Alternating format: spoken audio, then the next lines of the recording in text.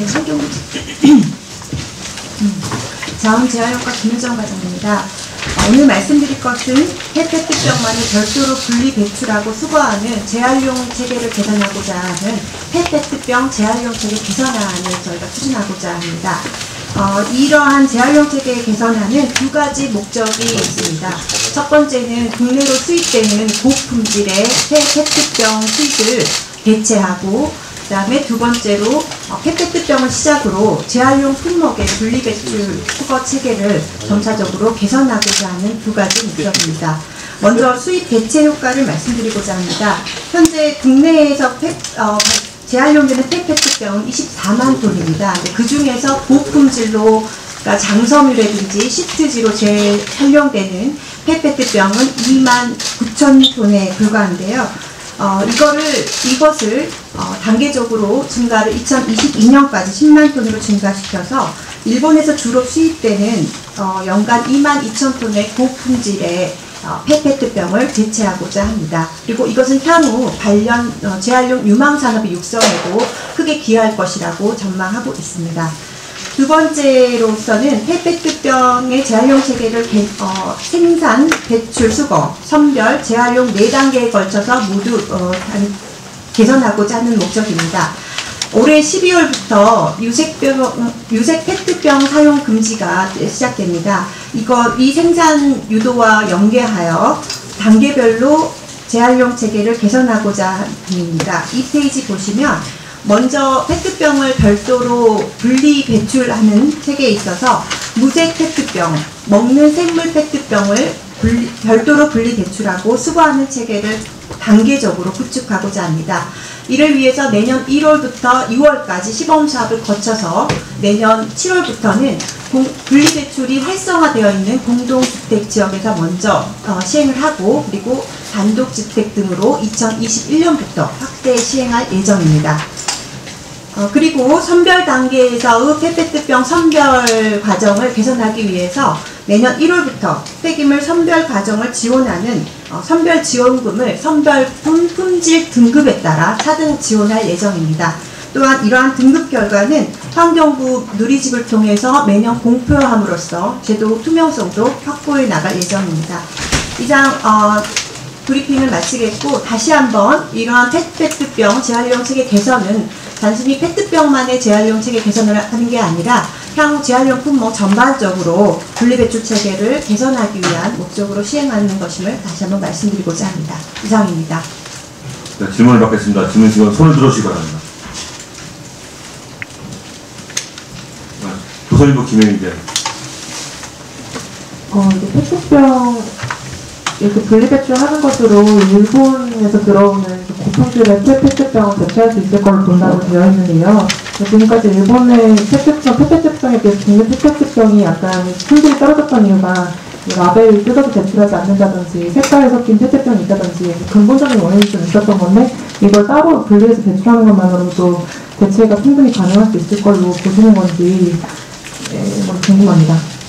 일단 어, 시행 과정에서의 어, 좀 시간은 정착에서 정착 기간에는 정착 기간은 어느 정도 필요하겠지만 저희가 12월부터 유색페트병 생수 음료에 있어서 유색페트병을 생산을 금지하기 때문에 그것을 따로 분리 배출했을 경우 분리 배출하고 수거하는 시스템이 정착이 된다면 저희도 일본과 같은 고품질의 페트병 재활용률이 충분히 높아질 것이라고 생각합니다.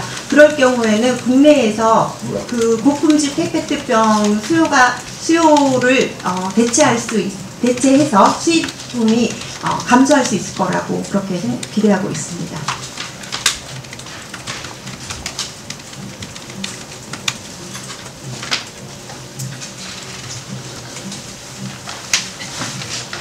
네, 질문 부탁했습니다. 동아일보 강은지 기자님. 저 뒤에 보면은 그 선별상 재활용품 같은데 그 지원금 같은 거를 조금 하중한다는 것도 고려를 하고 계신 것 같은데요. 그럼 기존에 뭐 주던 것들에 대해서 조금 더뭐 업체 입장에서는 깎일 수도 있다는 건지 아니면은 뭐 아예 좀 새로 만들 수 있다는 건지가 좀 설명 부탁드립니다. 선별품 지원금의 전체 포, 포션을 급격하게 증가할 수는 없는, 음, 없고요. 그 포션 안에서 등급에 따라서 차등 지원을 하기 때문에 현재 받는 지원금에서 떨어질 수도 있고 더 많이 받을 수도 있다고 생각하시면 되겠습니다.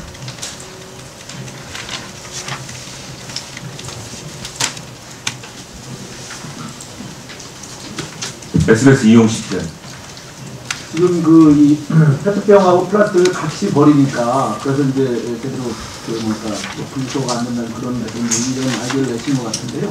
선별업체에서 어쨌든 뭐 플라스틱이랑 페트병 모아서 가더라도 선별업체에서 분리를 하지 않습니까? 그럼 그 선별업체에서 페트병만 따로 이렇게 모아서 이렇게 다 저기 한 분리를 하면 될 텐데 이걸 다시 국민들한테 국민들한테 분리수거 기존의 분리수거도 참 음, 어렵고 뭐 종류도 많고 그래서 저도 뭐 맨날 하, 어, 해보면 좀 헷갈리긴 하고 그런데 여기에 다시 또 어, 플라스틱 어, 폐 페트병만 별도로 갖다 좀 보내달라 이렇게 얘기한 건 그게 좀 수용성 면에서 어떨지 모르겠어요. 선별업체에서 충분히 이렇게 할 수 있는 방안이 있을 것 같은데 국민들한테 또다시 저 책임과 의무를 주는 것 같은데 이 부분은 어떻게?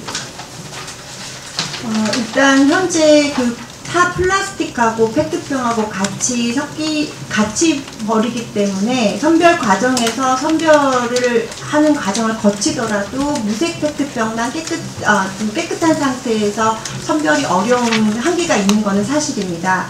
그리고 말씀하신 것처럼 국민 수용성 측면 때문에 일단 저희가 어, 이 추진안을 단계적으로 추진하겠다 잡았습니다. 그래서 공동주택 같은 경우는 현재도 분리수거가 잘 되고 있기 때문에 페트, 무색 페트병만 따로 분류할 수 있는 공동 수거함을 설치를 하고 그다음에 단독주택 같은 경우는 다 아시다시피 단독주택이 좀 분리수거가 좀 취약한 지역인데요. 여기 같은 경우는 저희가 내년 1월부터 9월까지 시범 사업을 거쳐서 그 지역별 특성에 맞는 좀 모델을 찾고자 합니다. 그래서 어, 단독주택 지역 같은 경우는 당장 내년이 아니라 그 이후 2021년부터 시행하는 것으로 좀 단계적으로 계획을 잡아봤습니다.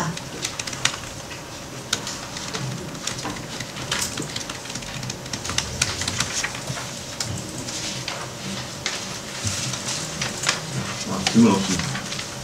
아, 환경부 김경진 대 지금 간단하게 하나 여쭤보는 건데요. 같은 코카콜라인데 우리나라하고 다른 나라에서 파는 코카콜라 그 플라스틱 그 포장재를 떼는 방식이 다르잖아요. 그래서 우리나라에서 파는 코카콜라가 시간이 더 많이 걸리잖아요. 이유가 뭐예요? 아, 라벨 문제 말씀하시는 거죠? 이 라벨 문제는 저희가 어, 지금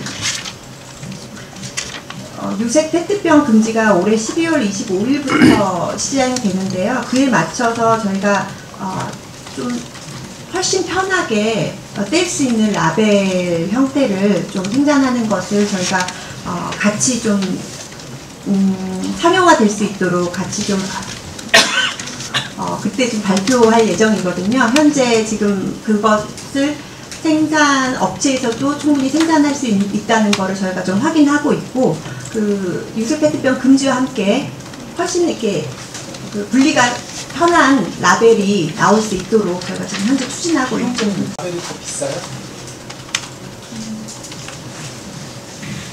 예, 자원자료과 유용호 사무관입니다. 그 라벨 종류에 있어서 문의하신 게 그 일반 절취선이 들어가 있는 비접착식 라벨과 저희 국내에서 판매되고 있는 그 접착식 라벨에 대해서 잘 말씀을 해주신 것 같은데요. 라벨 단가에 있어서는 크게 차이는 없습니다. 다만 이제 생산 방식에 있어서 그 업체들이 조금 더 익숙한 방식을 선택을 하고 있는 거고요. 두 가지 어, 두 가지 측면에서 둘 다 장단점이 있습니다. 접착식 라벨 같은 경우에는 뜨기 때문에 재활용 공정에서 쉽게 제거가 되는 측면이 있고 비접착식 라벨은 소비자가 조금 더 저, 그 제거가 사전 단계에서 쉬운 측면이 있지만 재활용 공정에서 물에 가라앉아서 페트병과 같이 섞이는 문제가 있습니다. 그래서 저희가 이번에 추진하고 있는 것은 접착식 라벨이더라도 가장자리 미도포 그 삼각형으로 손으로 쉽게 뗄 수 있는 구조를 추가해야만 우수 등급을 줌으로써 모든 어, 저- 라벨 유형에 상관없이 다 소비자가 사전에 쉽게 제거할 수 있도록 유도를 하고 있습니다.